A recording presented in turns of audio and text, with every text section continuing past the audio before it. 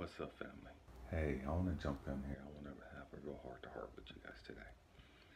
Um, the last three months, I've been going through something very trying, very challenging, very difficult.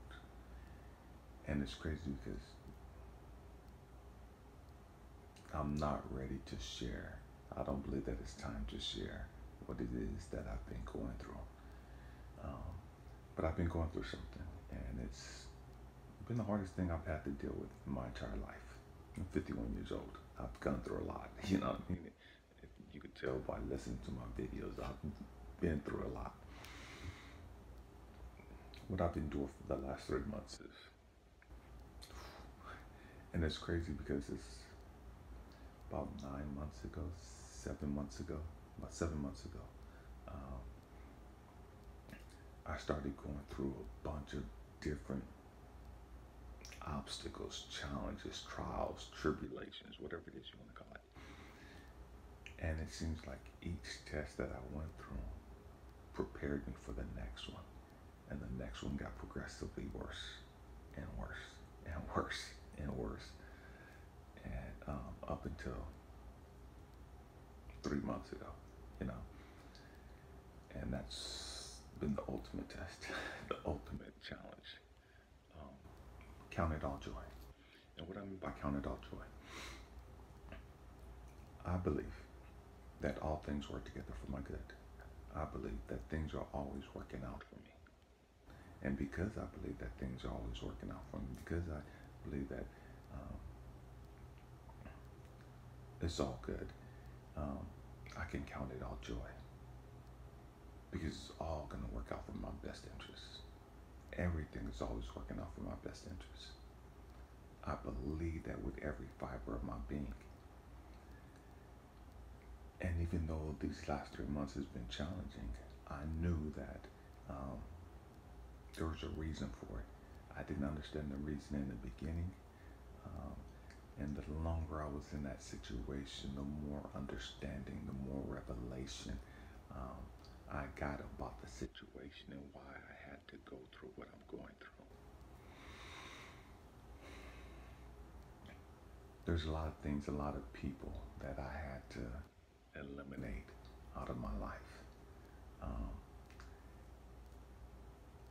and at the same time, I had to get up and still do what I was supposed to do. What I mean? Regardless of what it is that I was going through regardless of what it is that I am going through on a daily basis, I still had to get up and be a beacon of hope, a beacon of love, a beacon of joy, to be an encouragement, an inspiration to everyone else. Regardless of my situation, regardless of how bad things looked, you know what I mean? Regardless of how bad things felt. I still had to get up and go to work. And I still had to get up and be a support for others. I still had to get up and mentor and coach and counsel and encourage others. Even though I felt isolated, even though I felt all alone, even though I felt like, man, there's nobody for me to lean on, man, there's nobody for me to you know, to just encourage me.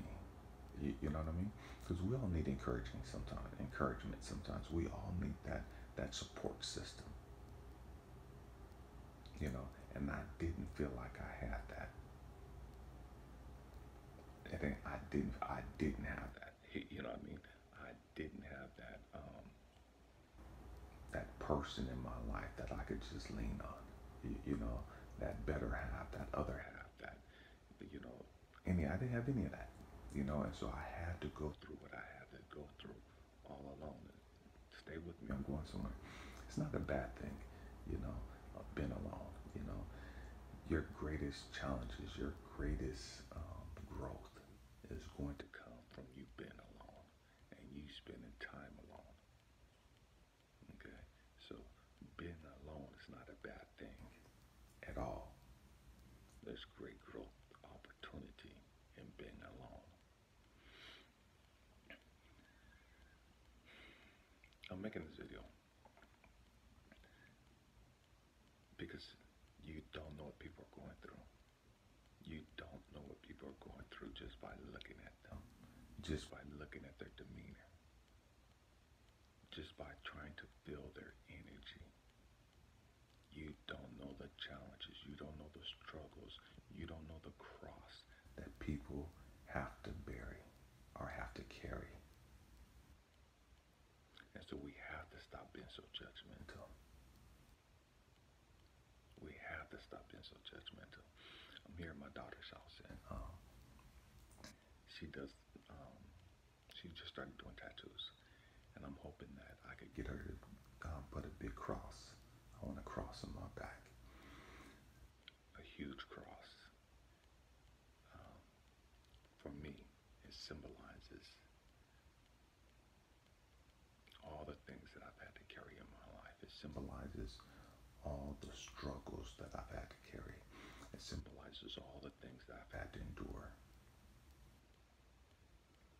Because regardless of all the stuff that I've gone through, regardless of all the hell I've gone through, regardless of all the crap I've had to carry, I'm still here. I'm still here. I'm still in the game. I'm still in the fight.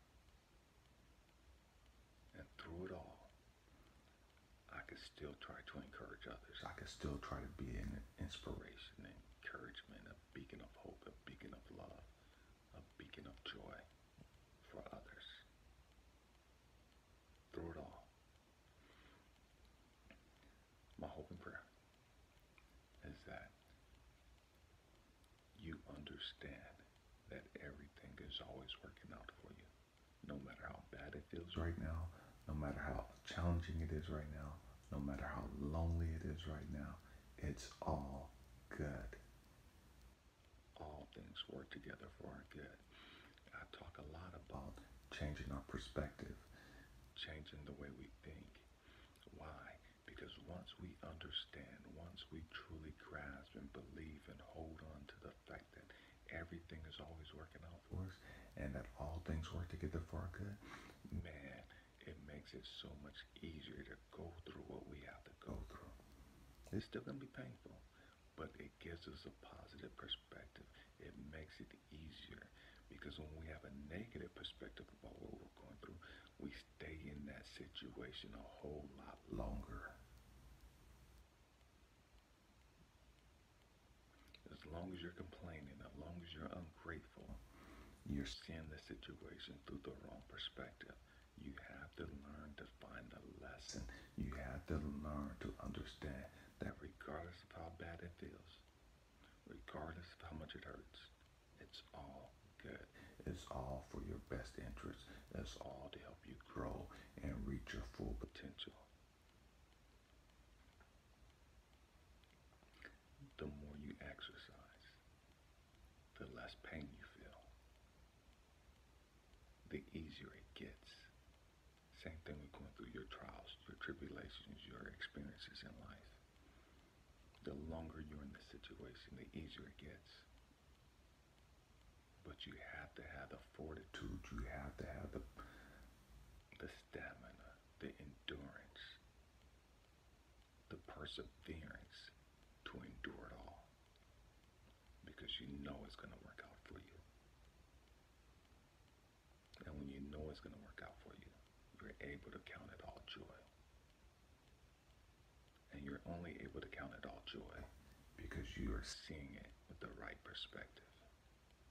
You're not looking at your situation through your natural eyes. You're looking at everything with your spiritual eye. And so when we change our perspective, we have to stop being so fixated with seeing things through our natural eyes. Because when you see things through your natural eyes, man, it's bad. It's hell. You know what I mean? There's nothing good of that. You know what I mean? But when you're able to see it with your spiritual eye,